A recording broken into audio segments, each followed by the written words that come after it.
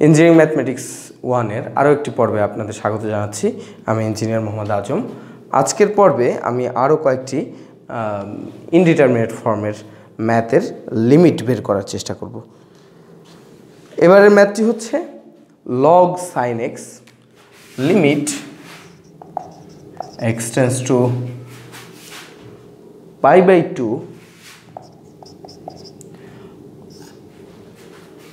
log sin x divided by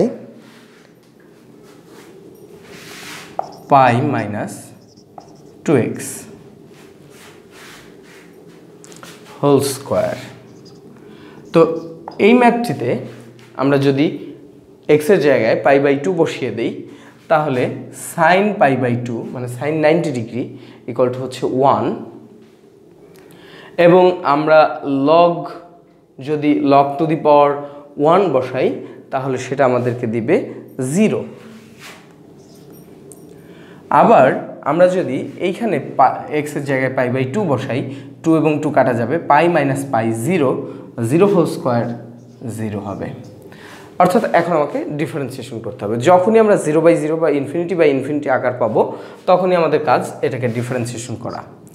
Limit x tends to pi by two ওপরে যদি আমরা differentiation করি log sine এক্সকে ডিফারেন্সিয়েশন করলে ওয়ান বাই সাইন এক্স কারণ লগ এক্সকে ডিফারেন্সিয়েশন করলে ওয়ান বাই এক্স হয়। কিন্তু সাইন এক্স তো এক্স না, এটাকে আরেকবার ডিফারেন্সিয়েশন করলে এখানে হবে ইন্টু কজ এক্স নিচে যদি আমরা ডিফারেন্সিয়েশন করি, এই টু এর জন্য বা স্কোয়ারের জন্য এটা ডিফারেন্সিয়েশন করলে two pi minus two x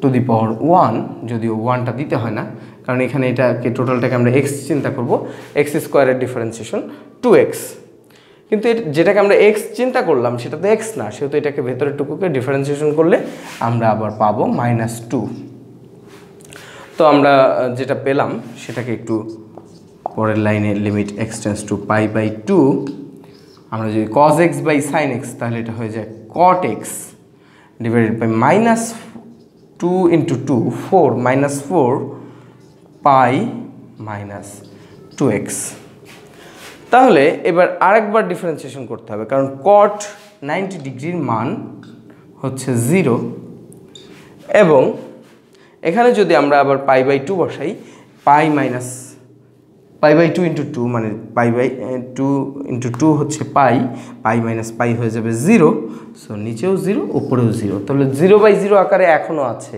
তাহলে আমাদের কি করতে হবে? এটাকে আরেকবার ডিফারেন্সিয়েশন করতে হবে। তো আমি এর আগের পর্বে বলেছিলাম যে যদি আর আবার জিরো বাই জিরো আসে, মান বসিয়ে যদি আমরা দেখি আবার অনির্ণ কোনো আকারে আসে জিরো বাই জিরো বা ইনফিনিটি বাই ইনফিনিটি আবার আমাদের ডিফারেন্সিয়েশন করতে হবে।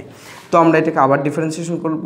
Limit x tends to pi by two cot এক্সকে ডিফারেন্সিয়েশন করলে আমরা জানি minus cosec square x minus cosec square x হয়।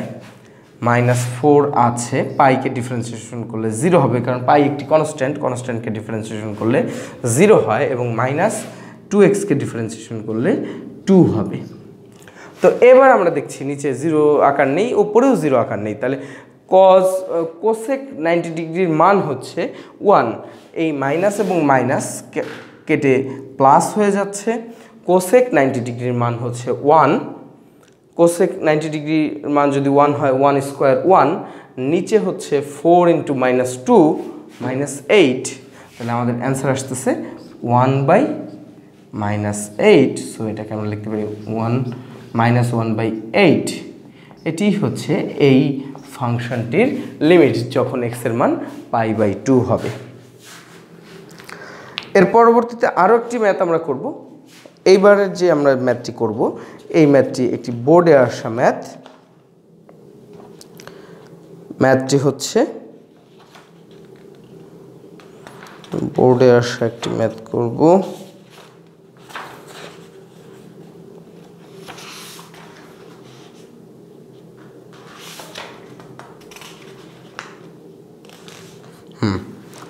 এবারের ম্যাথটি হচ্ছে limit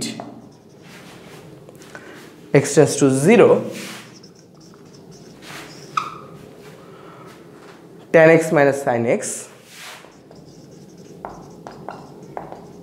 নিচে ট্যান এক্স মাইনাস এক্স তো আমরা অঙ্কটি পাওয়ার সাথে সাথে এটার কোন ফর্মে আছে এটা নির্ণয় করব।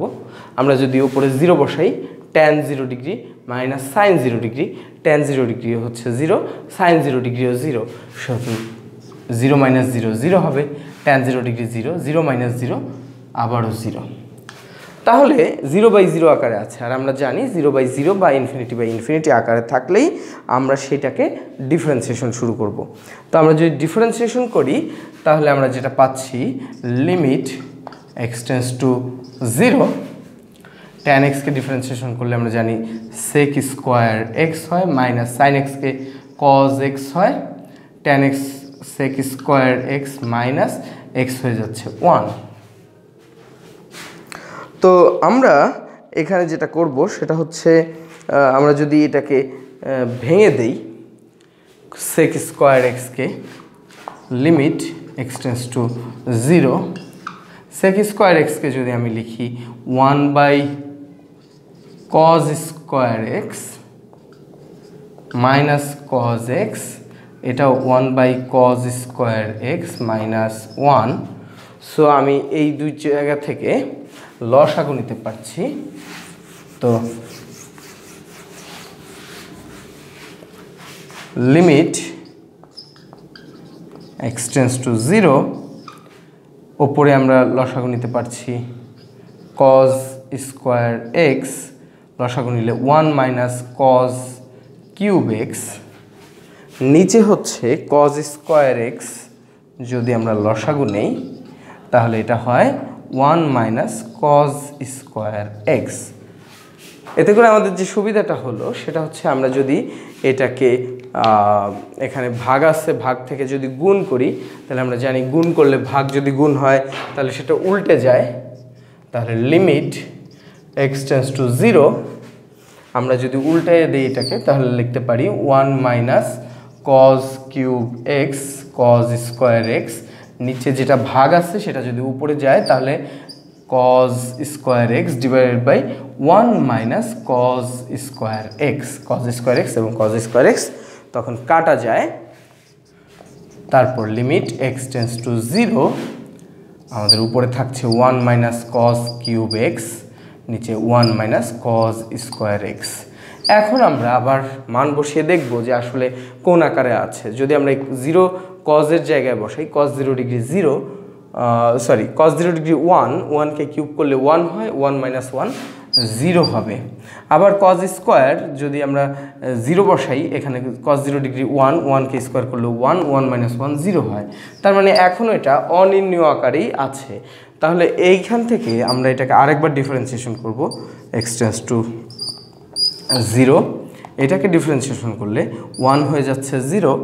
কজ স্কোয়ার এক্সকে ডিফারেন্সিয়েশন করলে টু কজ এক্স এবং কজ এক্স হয়ে যাচ্ছে প্লাস সাইন এক্স কারণ কজ এক্সকে ডিফারেন্সিয়েশন করলে মাইনাস সাইন এক্স হয়, তাহলে টু এই স্কোয়ারের জন্য টু কজ এক্স আবার কজ এক্সকে ডিফারেন্সিয়েশন করলে এটা সাইন এক্স হয়। এরপর আমরা লিখতে পারি যে এইটা ওয়ান উপরে জিরো হচ্ছে minus three cos square x but cos এক্সকে ডিফারেন্সিয়েশন করলে আবার হয় সাইন এক্স তাহলে এটা হবে সাইন এক্স তাহলে যদি এটা হয়, তাহলে আমরা পরবর্তী লাইনে যেটা লিখতে পারি লিমিট এক্সটেন্স টু জিরো আমাদের উপরে থাকছে three cos square x into sine x নিচে থাকছে two cos x into sine x তো সাইন এক্স সাইন এক্স কাটা যাচ্ছে এবং নিচের কজ এক্সের সাথে উপরে কজ স্কোয়ার এক্স কাটা গেলে কজ এক্স থাকছে। তাহলে আমরা লিখতে পারি উপরে আমাদের আছে three into cos zero degree এবং আমরা এখন মান বসিয়ে দিচ্ছি ডিভাইডেড বাই টু কারণ নিচে সব কিছু কেটে গেছে আর টু আছে।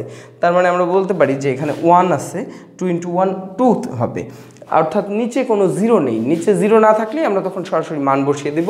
তাহলে আমাদের এখানে মান আসবে কস জিরো ডিগ্রি যেহেতু ওয়ান তাহলে এটার অ্যান্সার আসবে থ্রি ইন্টু ওয়ান মানে থ্রি ডিভাইডেড বাই টু এটি আমাদের এই ফাংশনের লিমিট আশা করি সবাই বুঝতে পেরেছেন। পরবর্তী পর্ব দেখার আমন্ত্রণ জানিয়ে এখানেই শেষ করছি। ধন্যবাদ সবাইকে।